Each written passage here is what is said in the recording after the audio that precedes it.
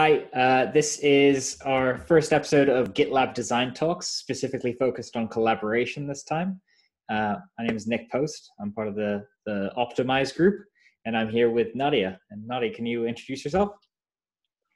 Hey, Nick. Yeah, thanks for having me here today. Um, I'm the product designer for Verify Pipeline Authoring quite recently joined Verify Pipeline Authoring, actually, just a couple months. I've just gone through a transition. Before that, I was on the monitor team.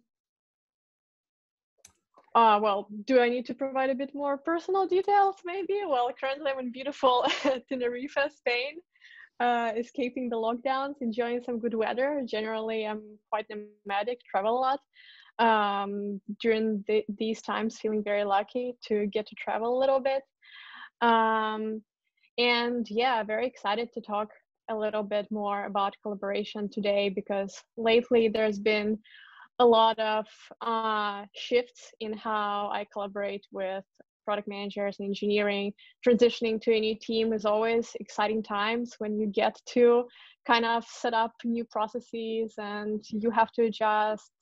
Your new teammates have to adjust. So um, I have some new insights to share. Nice. I'm really excited to hear about that. Uh, okay, so I'll, I'll kick off with the first question, and it's it's just sort of more broadly around around uh, joining GitLab. But sort of tell me about your experience of the the culture of collaboration within within GitLab, and and how has it differed from the previous jobs or roles that you've been in? Yeah, so uh, well, collaboration GitLab is quite unique. I think a lot of us can say that. Um, for me, uh, transitioning to GitLab has been challenging also because my previous role uh, was working for a UX agency. So working for an agency is quite different uh, from working for a product company. Um, and yeah, if we're talking about collaboration with the engineering teams, for example, really there was very little collaboration. It was very much, um, you know, close collaboration with the project manager. But once that is done, the designs are kind of just thrown over the fence, and whatever happens afterwards, you know, it's good if I get to see um, my designs actually implemented, and usually it comes with a whole set of surprises. Um, so I can say that especially collaborating closely with the engineering team, it was definitely something new for me. Uh, coming to GitLab and took me quite a while to figure it out, but uh, eventually I feel like um, I got there and I see huge benefits to close collaboration with the engineers, especially at GitLab, um, given that the product is so technical and we quite often have to rely on the engineering team to provide us the domain expert knowledge and you know all of the other things that we do the user research and everything. But often the engineers are the people that we can go to immediately right away and just ask a question um, about how things work. So um, yeah that's that's been definitely the biggest uh, the biggest kind of learning point for me uh, I realized that kind of my success as a designer really depends on my collaboration with the engineering team and product management as well. Yeah, yeah, totally. And maybe for for anyone who's uh, who's not part of GitLab, maybe you can sort of illustrate the the way that our teams are set up and how we're organized within within GitLab for a bit of additional context. Yeah, sure. So generally, um, we have separate product teams that focus on different parts of GitLab. So every product team can be focused, let's say, on uh, GitLab CI uh, solution or uh, continuous delivery or um, monitoring tools. So that would include, for example, metrics dashboards, incident management, things like that. So every separate pro product team will focus on their own area and um, a product team has one or more designers. It depends on the size of the product team. Um, maybe I'm not sure what the ratio is exactly, but I don't know, 10 engineers per designer sounds sounds about right. And the product manager. So as a designer, you're working very closely with your product manager to understand um, what the market needs, what are the things that need to be built, uh, what are the problems that we're trying to solve. Um, and then you rely on the engineering team to help you understand what is feasible and what can be built. Uh, so that informs your designs. And the collaboration really, you know, the way we collaborate it really varies from team to team, uh, but the setup is pretty much the same. And um, all designers have to collaborate with both PM and engineering, engineering to varying degrees. Cool. So self-autonomous teams of one designer to one PM to six to 10 engineers, all working in a uh, fairly sort of, uh, uh, yeah, autonomous way and, and loosely coordinated with other product and or, or feature teams who are working as well. And yeah. I think we're really empowered to, uh, to sort of make decisions for ourselves as teams. And that, that really uh, helps to like achieve results and and and optimize towards throughput and speed of delivery and, and reduced cycle time overall so i, I touched on um, results there and results is one of our key values and one thing that i noticed since joining gitlab is that our other values of like results efficiency diversity inclusion iteration and transparency they all have like a tremendous impact on each other but i think collaboration and how we collaborate especially. Uh, so i was wondering whether um, you have any thoughts on that whether having how the the relationship of values has been sort of interesting on how it's impacted uh, uh, collaboration or, or whether there's been any challenges for you as well yeah sure well i would say that collaboration affects all of the other values, right? We have to collaborate to make sure that we are all aligned on those values. And um, it's I I feel like it's my responsibility to make sure that I'm aligned to those values, but also it's my responsibility to notice if as a team sometimes we're not aligned to some of our values and to make suggestions and you know it's a it's a continuous we're all continuously growing. Um, so, of course, it collaboration has an impact on results and efficiency and diversity. You know, there are many. We were talking about collaboration. Like there are many different things that go into collaboration. Um, as a product designer, on in my day to day, mostly I collaborate with um, fellow UX designers from my team uh, my product manager and the engineers. And um, when it comes to collaborating with uh, fellow UX designers, product designers, uh, the UX team at large, uh, then we're kind of touching upon transparency values, for example. So at this point, we're what, like 60 people, large UX team, something like that, right? Uh, we've grown quite quite a bit, and at this point, it's become very important that we all share the, the work that we're doing uh, transparently across the team. Um, so there's a lot of uh, deliverables that are being produced and new UX research insights and um, you know just a lot of information to consume. So it's very important that we efficiently share the information and uh, foster collaboration across the team um, when it comes to collaboration with the product manager and uh, the engineering team, feel like it really, really strongly ties in with the iteration and results values. So, um, in my understanding, iteration at least to results. At least this is how we kind of uh, look at it at GitLab. That really uh, pushing uh, pushing the team to iterate faster, to test different assumptions, to conduct more experience and to learn from our experiences quickly, it leads to better results. Um, and also good iteration means better efficiently, efficiency. So really it all ties in together. Um, so figuring out a good way to iterate together, that's been a very big challenge and i know it's something that a lot of our teams struggle with and specifically figuring out how how does ux influence the iteration process or help lead the iteration process to then impact the results so that's been just a very interesting process and a bit of a roller coaster to be honest. Like joining um joining gitlab i it took me several months to just understand like how this all works.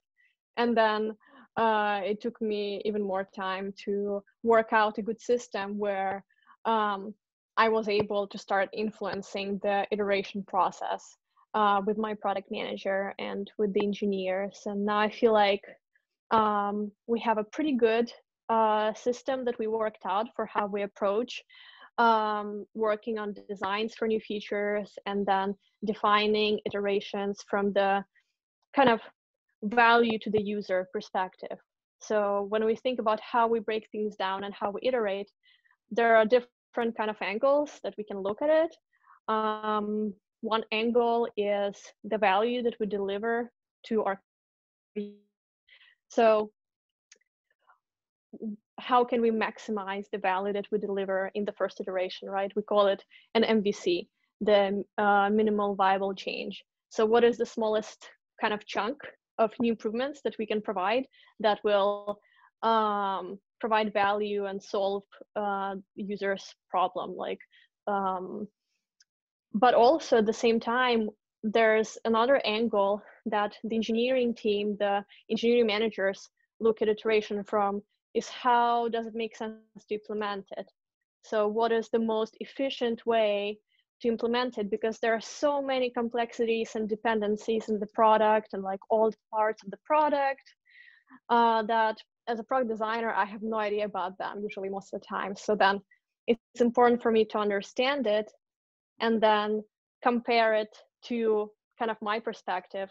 How can we provide maximum value in the first iteration then somewhere in between is that sweet spot the where we we have to compromise and figure out what what those iterations the mvc and the further iterations will look like um yeah now that i'm on a new team again we're, st- we're starting to figure out some some parts of it all over again but luckily i moved together with my product manager so together we're working on kind of bringing our um, work process onto the new team.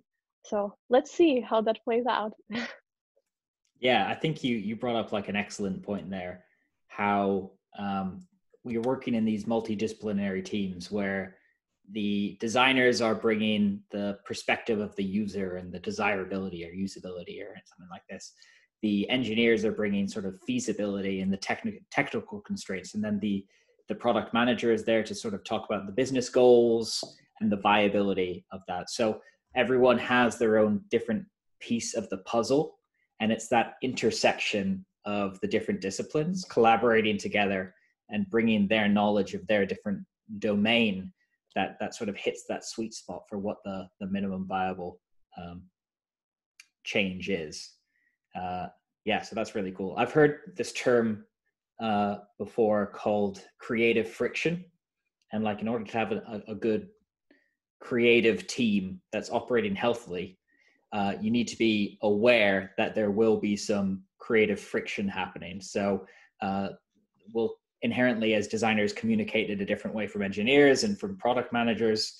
So this friction is sort of what leads to sometimes a little bit of confusion, or sometimes leads to like a little bit of disagreement. But from that friction actually comes a resolution which tends to be greater than the sum of its parts. So I think collaboration in GitLab, we are allowing this creative friction to occur. But the fact that we're working asynchronously has like quite an interesting impact on that. So I'm wondering whether you can sort of talk a little bit about how working remotely and collaborating asynchronously has uh, has impacted your work and how you collaborate with the team. Yeah, sure. Well, one thing I have to say is that I I've been working remotely for a very long time and I've never had a proper full-time um, location based job where I had to interact with uh, with my team face to face every day. So I'm a bit I, am a bit um, you know my case is a bit unique uh, maybe even though now of course it's very it's very widespread so maybe not that unique anymore. Um, but yeah of course generally i think uh, the impact that asynchronous communication has is that we put in more effort into how we communicate right? When you're writing uh, an issue comment um, usually most people would reread their comment and you you have more opportunity to become aware of any biases or uh, perhaps you might notice that your response is a bit too emotionally charged and you have to like go back and tone it down. It certainly happens to me oftentimes and i'm very grateful for being able to communicate asynchronously and really put my put my thoughts into the right like form to make sure that it's not misinterpreted that it's uh, that it's you know it's it's received as intended. However still of course miscommunication happens and um, i just think it's very important that we all really try to empathize with the other person like whoever you're talking to. And i know we talk about a lot um, and it's it's one of our values. I think kindness is actually part of the collaboration value if i'm not mistaken and I think it really is very important because in a remote setting, sometimes things can, uh, you know, it's easy to take something wrong. Like we're all very passionate about our work, we, we uh, have strong opinions about things. And uh, it's also happened to me in the past where I took some comment personally and it's it's happened to me where I said something and I really didn't intend to offend anyone, but it happened. So it's normal and we just have to kind of talk through it and you know just like in, in, any relationship you just have to communicate and try to understand the other person's side. Um, for collaboration with uh, the product manager and the engineering team well specifically with the product manager. So coming from an agency background i i had a bit of a different relationship with my project manager. So i had to learn exactly what are the goals that my product manager is working towards and what are the things that are important to my product manager what is driving uh, his decisions. So um, I, one of the things that helped me was reading more about it just reading more articles about product management. And um, a book i read called inspired uh, I don't remember the author of the book, but uh, it's it's one of the top books. If you look up books, Silicon Valley Group or something like that, yeah. Yeah, so it was it was pretty good at just like laying the foundation for what what product management is, and what are uh, and there's a lot uh, in that book on collaboration specifically. So it really helped me understand the product manager's perspective. Um, for the engineering team, uh, I would say I'm kind of not that I have any problems with communicating with the engineers, but sometimes I do feel like I have some gaps that I do not fully understand. Um, so it would be good to to learn more about um, how engineering managers work and what are their goals because I, I would say that that's something that I still need to learn about. So if anyone has any comments or any experiences to share about how to better collaborate with the engineering team how to better leverage their expertise, please do let me know. Um, at this point, like my my kind of conversion style with engineers is to involve them in the design process as early as possible, because um, they will still have. I mean, they have a lot of leverage, like to just uh, veto your designs and be like, "Hey, that's just not going to work."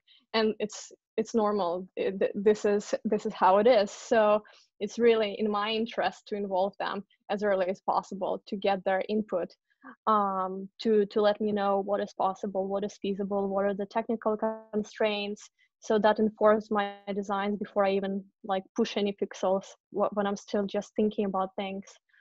Um, but i think it would be helpful to have um, this deeper understanding of the engineering team's goals because I think having that kind of deeper understanding makes you more empathetic and puts things into perspective because when you communicate with someone if you don't understand where they're coming from in terms of their goals how they make their day-to-day decisions uh, then it's easy to to uh, misunderstand where they're coming from.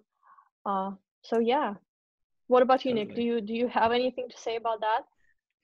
Well first of all i need to say that was that was there's so much wisdom in that in that last uh, comment that you had. I just need to pause and, and reflect on some of the points that you made just just just for myself. Uh, so uh, i think you brought up a really great point of, of involving kindness within within the the collaboration process. And uh, another way i've heard that talked about is like assuming best intent from the other side.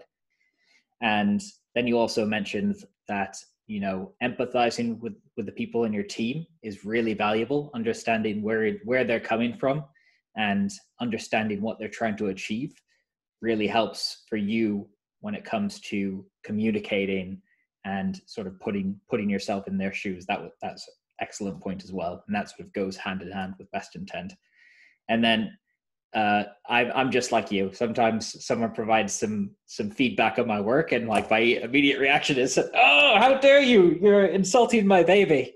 Oh yeah. God!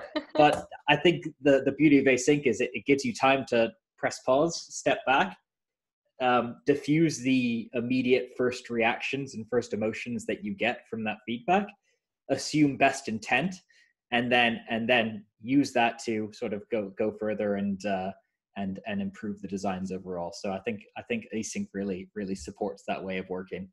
And then you also talked about involve, involving the PM and the engineers sort of early and often within the design process because that again goes to the efficiency value of, of just making sure that they're incorporating their perspectives of is it feasible uh, if you're an engineer is it viable if you're a PM. So yeah, so I think that that's like a lot of great great stuff. So I I really appreciate what you said there.